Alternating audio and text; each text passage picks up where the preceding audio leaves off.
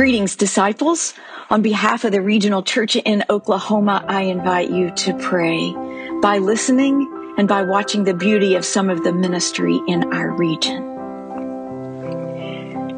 Good and gracious God, we put our walking shoes on to begin our journey down Advent Road. Before we even take the first step, we give thanks for your spectacular lights, for the sun that comes up every morning without fail, gifting us with light and warmth and love.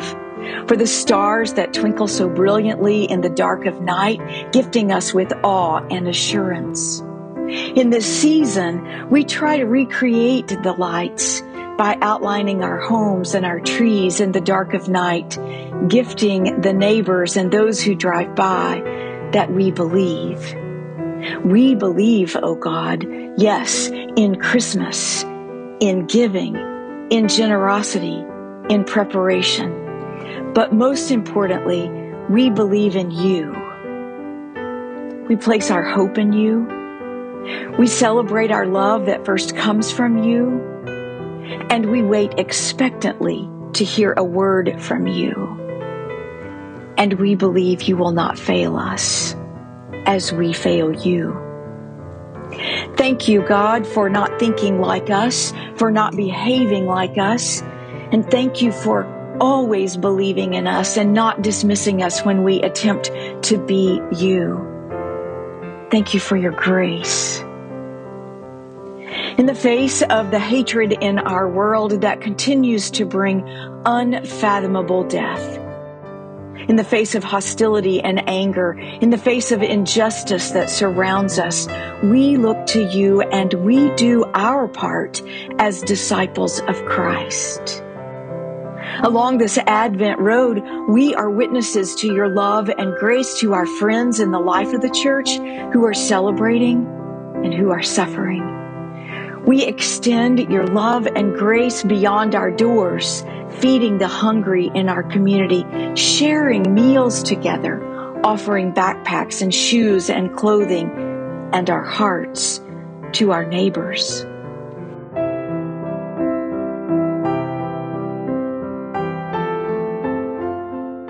We welcome those who serve and lead and who fall on their knees in prayer and we stand with the oppressed, advocating for justice and reconciliation and peace. We pause on this Advent road to rest our weary feet and to catch our breath, to be vulnerable before you and to courageously ask for forgiveness for all the obstacles that get in our way on this Advent road that tempt us and challenge us to turn from you.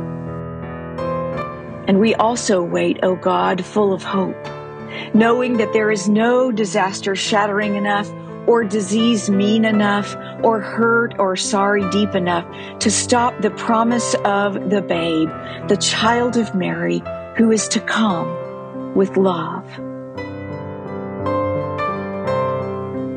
O Holy One, we offer ourselves and our ministries to you, dreaming of that moment that we will surely see a sign to assure us that we are all on the right road with you.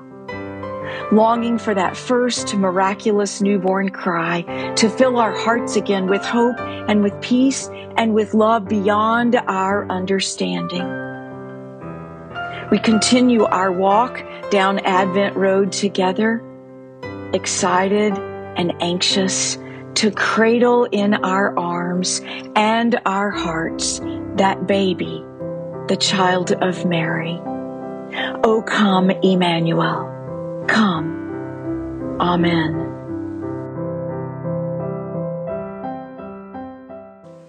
The Christmas offering is a concrete expression of how we work together as disciples of Christ in Oklahoma. Our time, our preparation, our worship, our talents, and our dollars all work together to help the world realize the amazing love and grace that comes from the God who creates us and calls us all very good. 100% of your gift to the Christmas offering supports the regional care for your pastor, your congregation, you, and our region. This Christmas season, imagine, imagine how God's love is revealed through us and the covenant we call the Christian Church in Oklahoma. Thank you for your gift.